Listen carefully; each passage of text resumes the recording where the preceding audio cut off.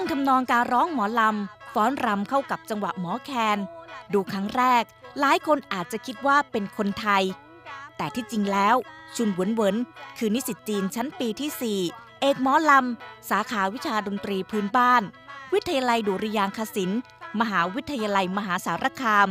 หรือที่มีชื่อเล่นไทยๆว่า แพรวา ความสามารถของเธอทำให้เพื่อนๆและอาจารย์ต่างชื่นชม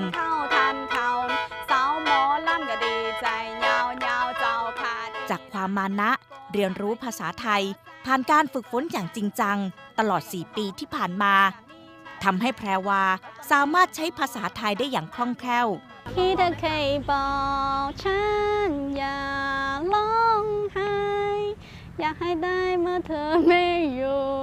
ปวดลามรู้ใจเอ้ยไม่ถูกอะไม่ถูก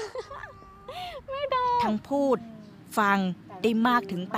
80%และร้องหมอลำได้มากถึง 10 กรอนลอาจารย์เขาร้องก่อนใช่ไหมร้องแล้วหนูก็อัดเสียง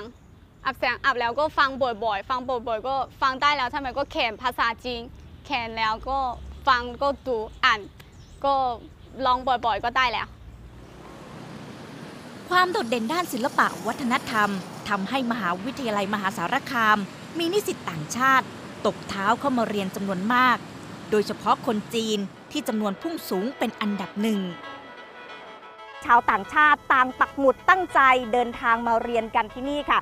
คุณผู้ชมคะที่นี่คือมหาวิทยาลัยมหาสารคามค่ะ ที่เปิดหลักสูตรรองรับนิสิตนักศึกษานานาชาติมากถึง 19 สัญชาติด้วยกัน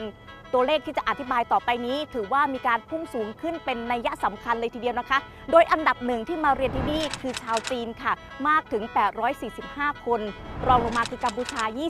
29 คน และชาวลาว 14 คนค่ะ รวมแล้วนะคะที่นี่มีนิสิตชาวต่างชาติมากถึง 923 คนค่ะ คณะศิลปกรรมศาสตร์ มีนิสิตจีนมากเป็นอันดับหนึ่งจำนวน 336 คน หนึ่งในนั้นคือนักข่าวชาวจีน วัย 39 ปี เพื่อนๆตั้งชื่อไทยให้เธอว่าใบบัว เธอเดินทางมาจากมณฑลเสฉวน มาเรียนตามคำแนะนำของเพื่อนๆ ที่เคยมาเรียนที่นี่ 我我之前我以前是一个新闻记者，呃，因为我的工作 让我会接触很多很多不同的人，然后我也比较喜欢我的工作，然后我在这个学校，呃，学习的是艺术应用的专业，呃，是因为我比较喜欢艺术这一块儿，所以我觉得，呃，学习在学习了更多其他国家不同的呃艺术领域以后，可能在我的职业方面会让我增长更多的知识。 คณะบดีคณะศิลปกรรมศาสตร์และวัฒนธรรมศาสตร์เปิดเผยว่า คนจีนมาเรียนส่วนใหญ่เป็นอาจารย์ ตั้งใจมาเรียนด้านศิลปะวัฒนธรรมมากถึงร้อยละ70 เพราะการเรียนศิลปะขั้นสูงในจีนยังไม่ค่อยมี นอกจากนี้มหาวิทยาลัยยังทำ MOU ร่วมกับสถาบันของจือ คัดกรองคุณภาพนิสิตจีนอีกด้วย เรามีหลักสูตรมีอะไรน่าสนใจ เขาก็เลยมาเรียน พอมาเรียนปุ๊บก็เรียนสำเร็จการศึกษานะครับแล้วก็ผลงานของนิสิตส่วนใหญ่ก็ถูกตีพิมพ์ในวารสารสกอร์ปัสอะไรต่างๆ แล้วมันก็เป็นสากลมีความคือทุกคนรู้สึกว่าเฮ้ยมันมันไปได้ว่าศิลปะวัฒนธรรมจีนมันตีพิมพ์วารสารนานาชาติได้อะไรต่างๆ ก็เลยปากต่อปากด้วยนะก็เลยทยอยกันเข้ามาเรียน ปัญหาจำนวนนิสิตนักศึกษาลดลง เป็นสิ่งที่หลายมหาวิทยาลัยของไทย เห็นแนวโน้มมาอย่างต่อเนื่อง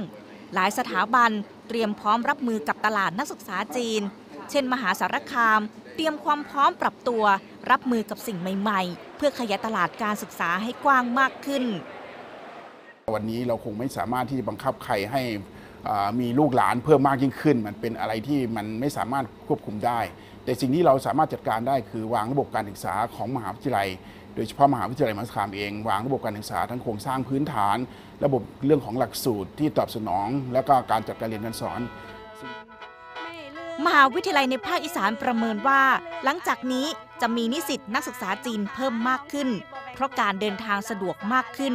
จากโครงการรถไฟฟ้าความเร็วสูงจีนลาว จากนี้จะทำให้ภาคอีสาน ถือว่าเป็นหมุดหมายทางด้านการศึกษาของจีน ไม่ใช่แค่เพียงการค้าเท่านั้น จิรพรคำพาพันธ์ไทย PBS รายงาน